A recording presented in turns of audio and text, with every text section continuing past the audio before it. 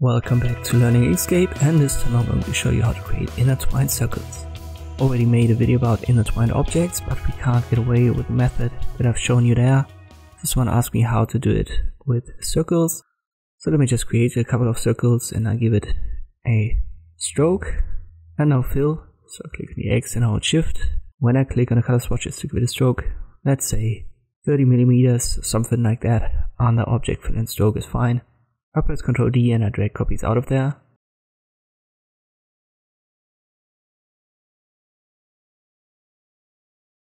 Let me group the two at the bottom, press Ctrl G, and then I use align and distribute on object, select it all.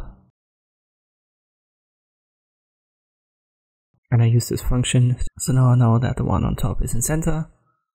We've got these three circles as a start,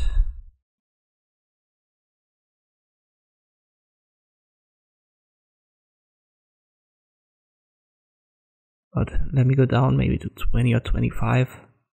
In this case I use millimeters, but you can use whatever you want.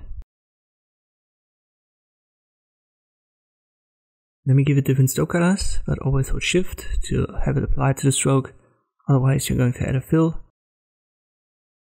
Color doesn't really matter here, I'll just pick something that looks somewhat decent. Alright, we can use that. I want to create this intertwine effect. And if we just use right here this top menu, we can only affect the entire circle and not the segments of it. Me create a new circle to show you the effect that I'm going to use, and then I place a rectangle on top.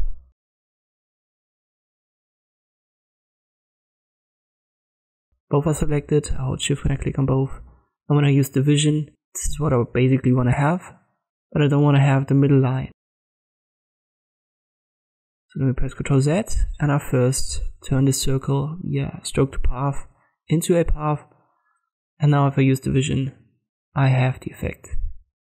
So there is no middle line and I can create these sections of the circle that I need for the intertwine effect. There's another problem. Let me copy this one, press Ctrl D and I'll show you this. And I use the Bezier tool instead of the rectangle tool.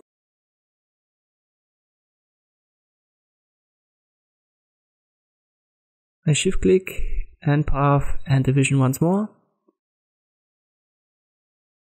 And if I zoom in, you can see that right here there's this thin white line where I've made the cut with the division and on both sides.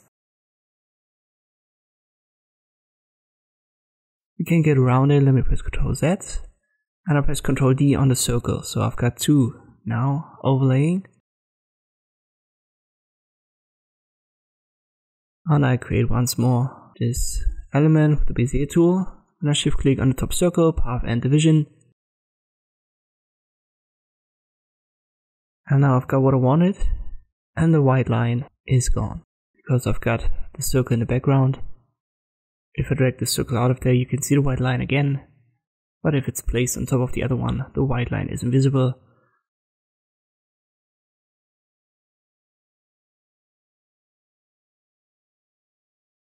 So that's the way to get around it. Now let us start with this element. I select it all, path, stroke to path. And then I press Ctrl D. So I've got the same element on top. And now we can use the Bezier tool let us start with the first one right here. So the dark red is at the bottom in the first position. So we want to have it on top in the second position right here. So use the Bezier tool, cover this one. Let me give it a fill and you can see what segment I'm going to create. And then I shift click on the dark red path and division. Now I can select this element and use the top menu to put it on top. So it's bottom, top, and bottom again, and here we need on top once more, so I'll use the Bezier tool.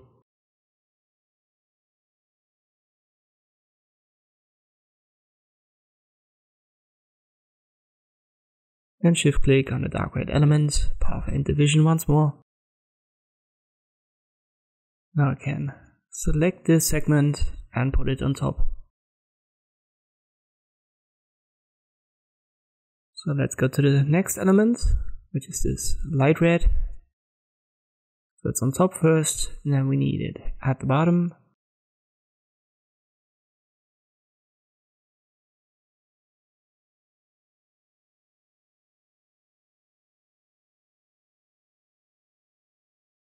And it's on top again. And finally it needs to be at the bottom.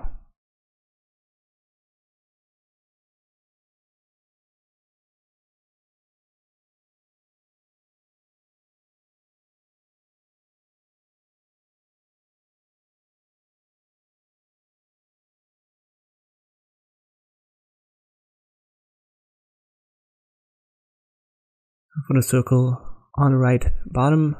Everything should be fine now. Let's top, bottom, top, bottom. Afterwards you can select it or Ctrl G to group it. And this is how you can create these intertwined circles. I hope this video was helpful, thanks for watching and I'll see you next time.